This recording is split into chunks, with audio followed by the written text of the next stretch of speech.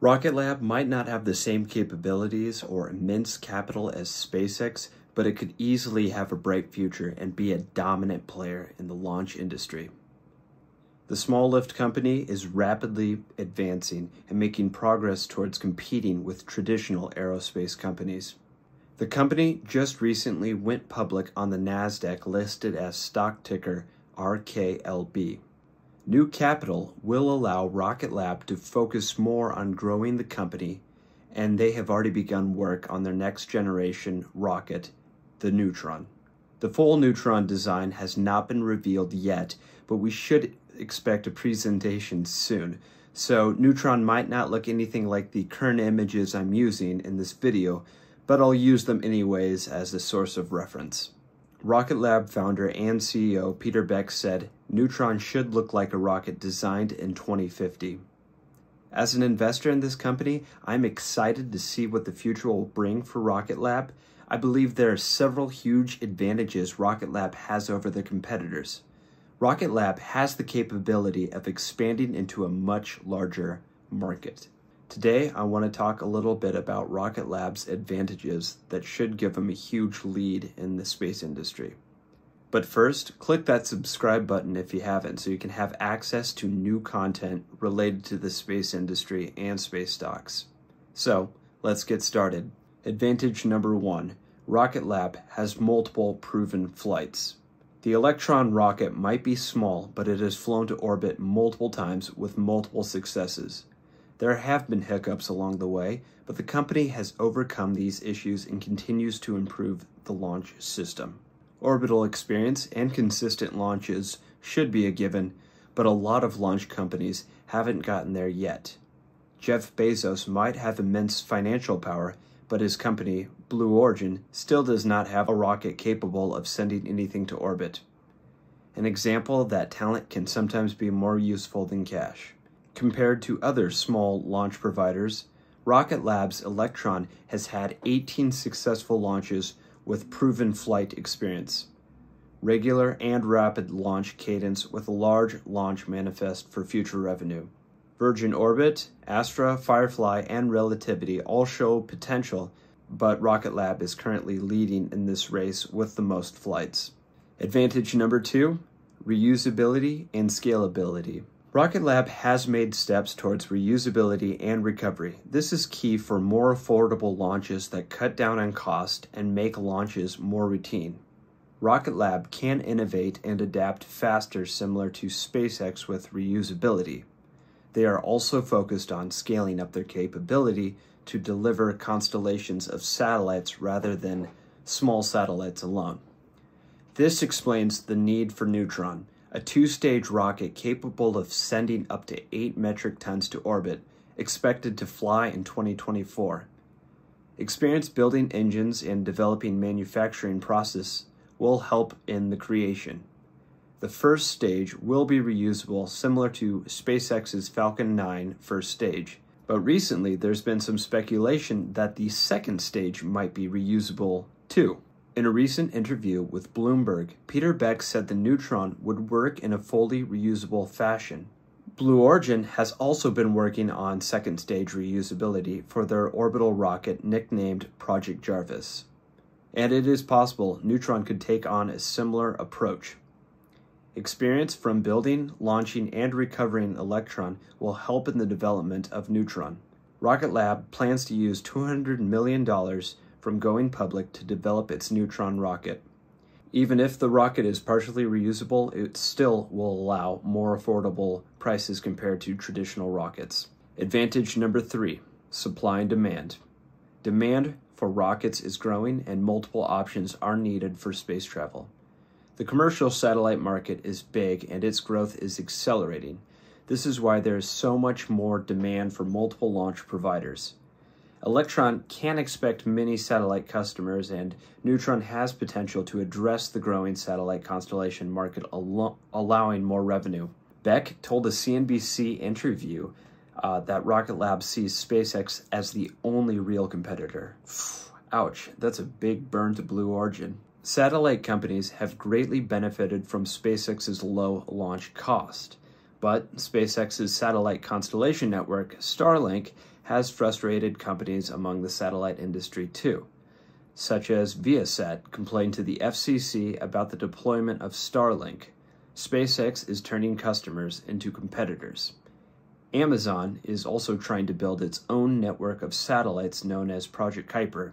There's no way Bezos would let an Amazon satellite fly on a SpaceX rocket. This is why I believe uh, companies like Rocket Lab look more appealing. Satellite companies might choose a Rocket Lab Neutron over a SpaceX rocket in the future. The military also has needs for multiple launch options. In order to assure access to space, the U.S. Space Force selects at least two launch vehicles to deploy their military satellites under their National Security Space Launch Program. If the Neutron proves to be affordable enough, it could beat out traditional launch vehicles in securing future launch contracts. Rocket Lab could easily threaten the business of ULA, which is already challenged by SpaceX. NASA is also looking for alternative launch systems. The Neutron can launch from the Wallops Flight Facility in Virginia, also the same location as the Northrop Grumman Antares rocket, which has a NASA contract to res resupply the ISS. Both the Antares and Neutron vehicles are similar and can carry about the same weight of payload, up to 8,000 kilograms. So, if Neutron can be more affordable, they could easily eat into the lunch of an Antares rocket. NASA could offer Rocket Lab a contract for Neutron to deliver supplies to the ISS. A commercial resupply contract like this could be worth over a billion dollars. This is huge. Uh, this would be a huge game changer for the company. NASA has saved billions of dollars uh, for the American taxpayer through commercial options, so I do see more future commercial contracts.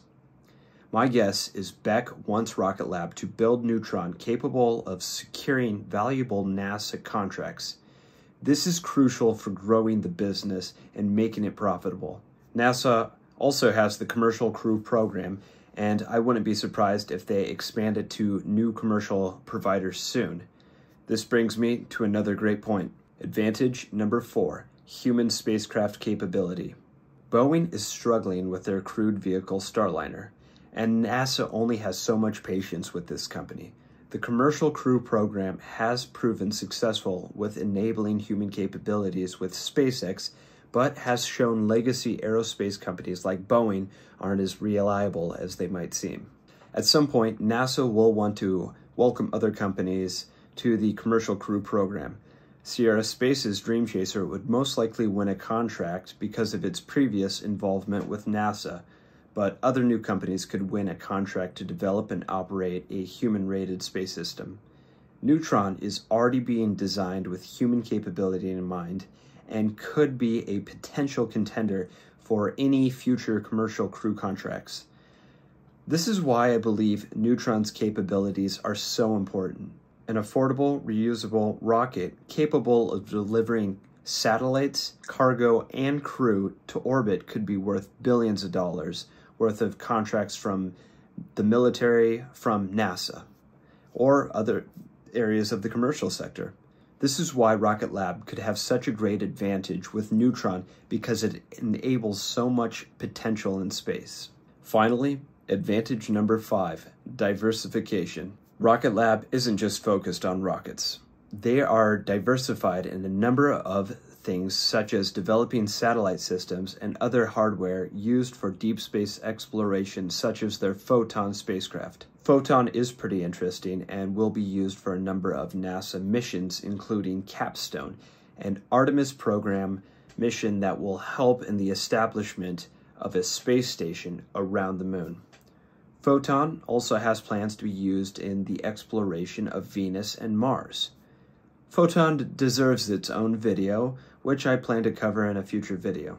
Diversification in multiple launch pads will help ramp up flights. Rocket Lab has three launch pads, two at their private facility in New Zealand and the one in Virginia, ready for launch later this year. This will enable rapid access to space and shorten turnaround times between launches. So, Rocket Lab has many advantages and looks as though they're laying the foundation to become a much larger company that could compete directly with SpaceX. A few other things to consider when comparing Rocket Lab to SpaceX. SpaceX's Falcon 1 was much like the Electron. The Falcon 1 took four flights before it successfully reached orbit.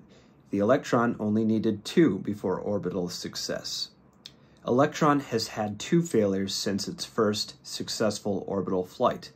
The Falcon 9 had one in flight explosion, one pre launch pad explosion, and one in flight partial failure of a Merlin engine, resulting in the loss of a secondary payload. The point is, space is hard. SpaceX might make it look easy now, but in their early days, they had issues of their own. Just because Rocket Lab has had several setbacks doesn't mean they should be ruled out. They are making rapid progress, and I believe we will see some big surprises from them throughout this decade. So, cheers to those invested in Rocket Lab, including myself. We are about to see some exciting things in the future. So, in my next videos, we'll talk more about the emerging market of small rockets, and we'll talk about those companies that could overtake the launch industry. Astra is publicly traded, and Virgin Orbit is also going public via SPAC. Uh, these rocket companies deserve videos of their own, which I plan to cover soon. I will cover plenty of more of the uh, space industry and other space stocks. So if you like this video, please subscribe and uh, you can look forward to new future content. Thanks. I'll see you next time.